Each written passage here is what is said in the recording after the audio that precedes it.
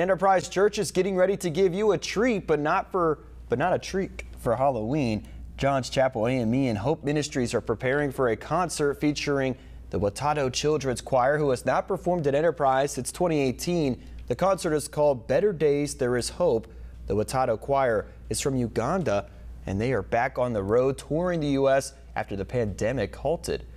The choir is made up of 16 children who have deceased parents or at least one. Organizers say hearing the choir is a golden opportunity. If you come to, to come and listen, and just like I've been saying, if you've heard them before, you want to come back again. They are worth hearing again, again, and again. We are just so excited. We are just so elated to have them here at the chapel, Johns Chapel AME Church. The event is free, but they will take up a love offering to support the group's children's ministry. It will start at 6 o'clock and will last for about an hour.